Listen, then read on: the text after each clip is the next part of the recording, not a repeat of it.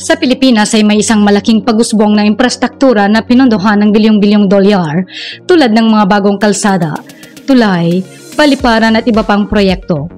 Ang ilan sa mga malalaking proyekto ay magdudulot ng malaking pagbabago sa pag-unlad ng bansa. Ito'y naglalayong mapabuti ang kalakalan, transportasyon at konektibidad sa buong Pilipinas na naglalayong magdulot ng mga magandang kinabukasan para sa mga mamamayan. Kaya't ating alamin ang mga pinakamalalaking proyekto sa Pilipinas. Pero bago yan ay huwag kakalimutang mag-like at subscribe sa ating channel para laging updated ka sa ganitong klaseng video.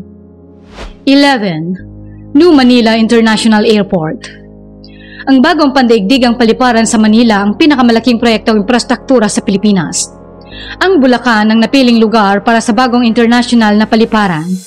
Inaasahang makakapag-accommodate ito ng 100 milyong pasahero kada taon magkakaroon nito ng apat na runway at itatayo sa 2,500 hektaryang lokasyon.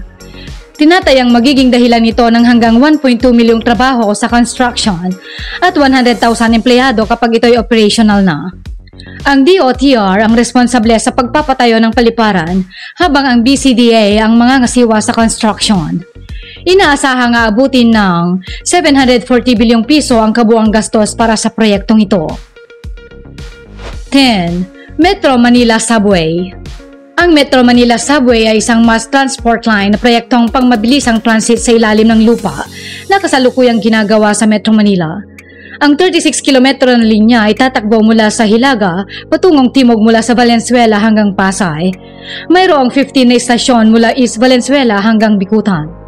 Ito ay magiging pangalawang direktang koneksyon ng bansa sa paliparan matapos ang North-South Commuter Railway na may sangay papuntang Ninoy Aquino International Airport.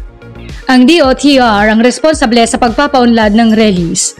Ang LRMC ang mamamahala at mag-aalaga rito kapag ito'y natapos na at mahalaga ang papel ng proyektong ito sa pagpapabuti ng transportasyon at pagangat ng konektibidad sa Maynila. 9. Malolos Clark Railway Project. Ang proyektong ito ay mag-uugnay sa Malolos Clark Airport patungo sa Clark Green City. Inaasahang magtataguyod ito ng pagunlad sa rehiyon. Ang ruta nito ay 39 km ang haba na may siyam na stations. Magdadala ito ng hanggang sa 1 milyon tao kada araw. Ang DOTR ang namamahala sa pagtatayo nito habang ang PNR naman ang magsasanay at mag-aalaga kapag ito'y natapos na. Inaasahang magbunga ito ng paglago sa ekonomiya ng rehiyon sa pamamagitan ng pagpapadali ng akses sa mga importanteng lugar sa mga ruta nito. Sa pamamagitan ng pagsasanay at pangangalaga ng mga kawani nito ay asahan ng magandang serbisyo para sa mga pasahero upang mapanatili ang seguridad at kahusayan ng rail system. 8. PNR South Long Haul Project ang PNR South Long Haul Project ng Philippine National Railway ay layong ayusin at palawakin ang daang bakal sa bansa.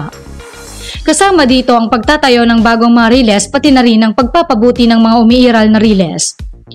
Ang PNR South Long Haul Project o kilala rin bilang PNR Bicol ay isang inobrang intercity rail line sa Timog Luzon na bahagi ng Luzon Railway System.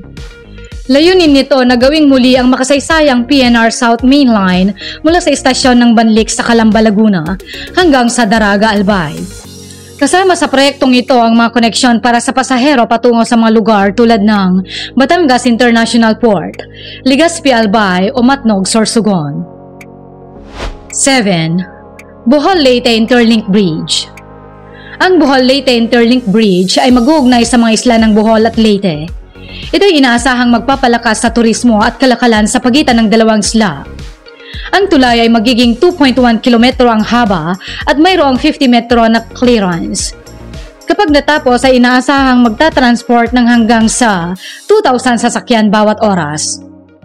Ang DPWH ang may hawak ng proyektong ito na responsable sa construction ng tulay.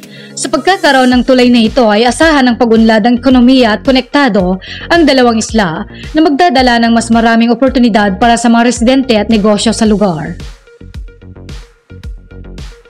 6. Cavite Laguna Expressway or CALAX Ang Cavite Laguna Expressway or CALAX ay isang bagong kalsada na nag-uugnay sa Cavite at Laguna. Layo nitong maibsan ang matinding trapiko sa paligid. Ang daan ay may habang 44.6 kilometro na may 10 interchange. May kakayahan itong magdala ng hanggang 100,000 sasakyan kada araw. Ang proyektong ito ay pinangangasiwaan ng Cavitex Infrastructure Corporation o CIC at silang responsable sa construction ng expressway. Ang CIC ay nakatutok sa pagpapaunlad ng kalsada para mapadali ang daloy ng trapiko at mapabuti ang transportasyon ng nasabing lugar. 5. South Luzon Expressway ang pagpapalawak ng South Luzon Expressway ay isang proyektong layunin na palawakin at ikonekta ang South Luzon Expressway or SLEC patungo sa Calax. Ang 13.4 kilometrong plano ng pagpapalawak na ito ay maglalaman ng dalawang interchange upang mapadali ang mas magandang paglalakbay sa pagitan ng mga kalsadang ito. Inaasahang mag-a-accommodate ang proyektong ito ng hanggang 50,000 sasakyan kada araw at layo nitong mapabuti ang kahusayan ng transportasyon sa rehiyon. Ang pagtutok sa proyektong ito ay nasa ilalim ng Department of Public Works and Highways or DPWH para sa construction ng pagpapalawak nito.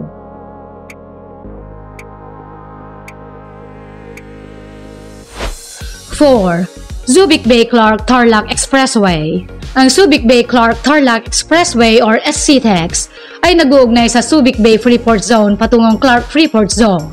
Ito ay nakakatulong sa pagunlad ng rehiyon sa aspeto ng ekonomiya. May habang 93.7 kilometro ang kalsada at mayroon itong 13 interchange. Kayang magdala ng hanggang 100,000 sasakyan kada araw. Ang DPWH ay may hawak ng proyektong ito. Sila rin ang responsable sa pagmentini ng expressway. 3. Davao City Bypass Road Ang Davao City Bypass Road ay magiging isang bagong kalsada sa lungsod ng Davao. Inaasahang mababawasan nito ang trapiko sa lungsod. Ang kalsadang ito ay aabot ng 18.3 kilometro ang haba na may apat na interchange. Kayang maghatid ng hanggang sa 50,000 sasakyan kada araw at ang DPWH ang may responsibilidad sa proyektong ito. Ang construction ng kalsada ay nasa ilalim din ng pangangasiwa nito. 2. Pangil Bay Bridge Ang Pangil Bay Bridge ay isang bagong tulay na itatayo sa buong Pangil Bay at inaasahang magpapalakas ito ng ekonomiya sa rehiyon. Ang tulay ay may habang 5.4 kilometro at may clearance na 50 metro. Inaasahan na mag-accommodate ito ng hanggang 2,000 sasakyan kada oras. Ang proyekto ay pinangangasiwahan ng DPWH at sila ang responsable sa construction ng tulay. 1. Mactan Cebu International Airport ang Mactan Cebu International Airport ay isang pangunahing pandaigdigang paliparan sa Cebu. Kasalukuyang sumasailalim ito sa malaking proyektong pagpapalawak ng bagong terminal para sa mga pasahero, runway at terminal para sa kargamento. Inaasahang aabot sa 17 bilyong piso ang magiging gastusin ng proyektong ito na magdadagdag ng kakayahan ng paliparan na magserbisyo sa 20 milyong pasahero kada taon. Inaasahan ding magpapalakas sa turismo sa Cebu at sa rehiyon ng Visayas. Ang mga proyektong ito ay makakatulong sa bansa at tiyak na magkakaroon ng malaking aspeto sa ekonomiya at sa buhay ng mga Pilipino.